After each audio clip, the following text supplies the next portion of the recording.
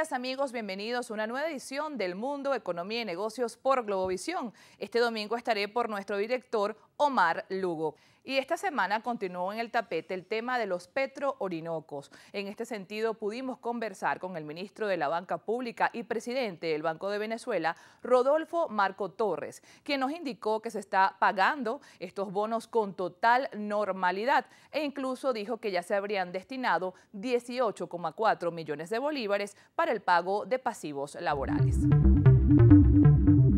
El banco recibe su planilla digitaliza la información y la envía a sede principal para proceder al pago. No es que dura 10, 10 días el pago, si se están haciendo efectivo y inmediatamente llegue la planilla aquí, se hace el pago correspondiente. Es una cuenta que va a tener el banco, exacto, donde semestralmente le va a abonar sus intereses. No necesariamente del Banco de Venezuela, esto es importante destacarlo. Ellos pueden tener, los, ellos pueden tener su cuenta donde ellos van a recibir sus recursos en otro banco. Aquí no lo estamos amarrando solamente al Banco de Venezuela, como alguien dijo por ahí, que no, que era obligatorio, que solamente tenían que tener los reales en la cuenta del Banco de Venezuela, porque si no el gobierno no se le iba a liquidar. No, no, eso es totalmente falso. Es importante destacar esto.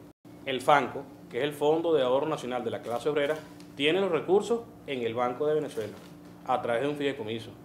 Claro, un fideicomiso, como tú sabes, normalmente genera sus intereses, va alimentando el fondo, el fondo continuamente y semestralmente a los beneficiarios que les son asignados y son publicados en prensa, reciben sus cupones semestrales. Nosotros somos el Banco de Venezuela, nosotros recibimos los recursos.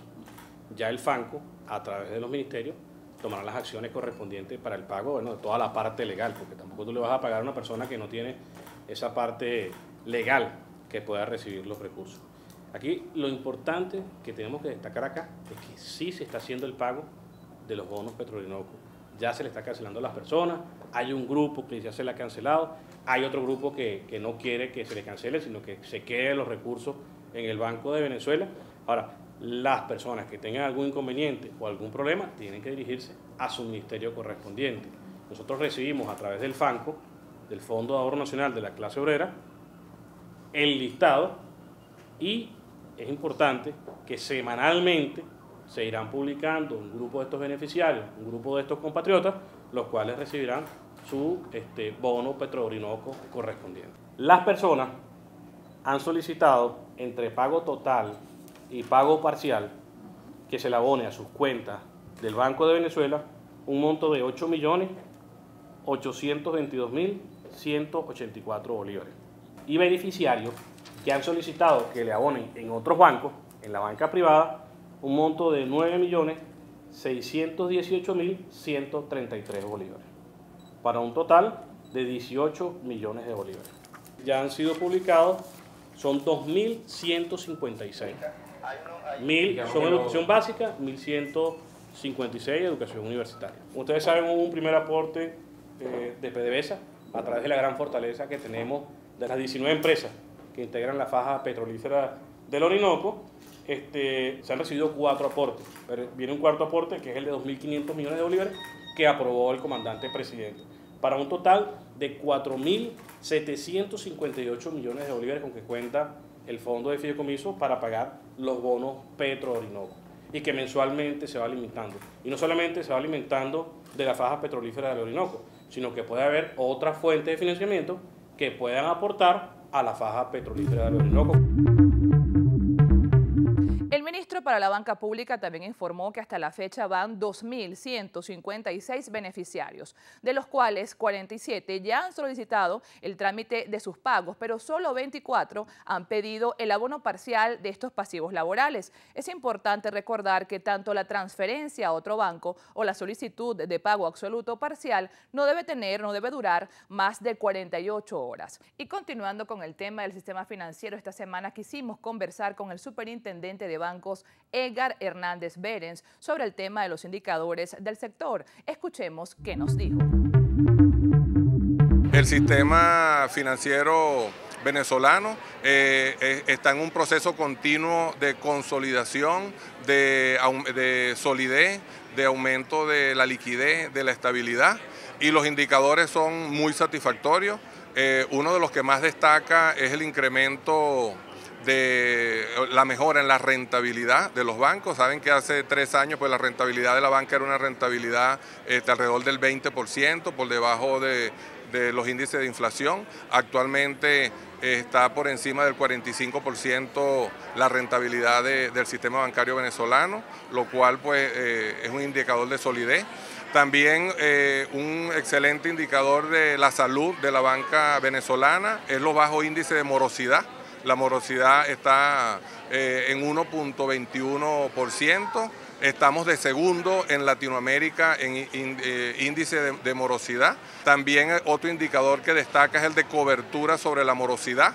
Nosotros el mínimo que exigimos es de 100% sobre, sobre los créditos vencidos y la banca llegó, está sobre los, el 270% de cobertura, cobertura de cartera morosa. Entonces, bueno, para indicarles tres indicadores, excelente rentabilidad, excelente indicador de morosidad, excelente indicador de cobertura. Sabemos que también hay, excelente momento de liquidez bancaria. Hay un sistema, un sistema de información financiero, SIF, que hemos dado información en general a la banca. Ahorita le vamos a, dar a toda la banca pública y privada un periodo de seis meses hasta diciembre para que ajusten y transmitan el 100%, pues son 27 archivos que se transmiten a través del, CIF, Sistema de Información Integral Financiero. A partir de enero del 2013, toda la banca pública y privada va a transmitir con el favor de Dios el 100% de esos 26 archivos y con una excelente exactitud y precisión de la información.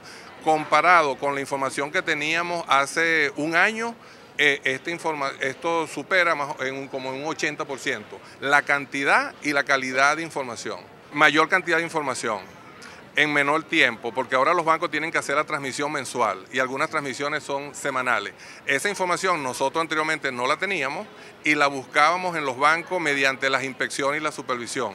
Entonces la obteníamos en cuatro meses, en seis meses, en ocho meses. Ahora la tenemos a la mano porque los bancos la transmiten por un sistema moderno, de más seguro, más eficiente, la transmiten todos los meses, o sea, está la información actualizada. Este sistema obligó a que los bancos se eh, ordenaran mejor la información, la actualizaran y ahora nos la están transmitiendo completa. Eso incluye eh, toda la contabilidad, eh, todas las carteras de crédito de toda manufacturera, agrícola, de turismo, de microcrédito, toda la información de, las captaciones del público, de personas naturales, personas jurídicas, pero con lujo de detalle. Según cifras de la Superintendencia de Bancos, la cartera neta de crédito se ubicó en el mes de agosto en 341 millones de bolívares, cifra superior al mes de agosto del pasado año. Y amigos, de inmediato vamos a nuestra primera pausa en el mundo economía y negocios por Globovisión.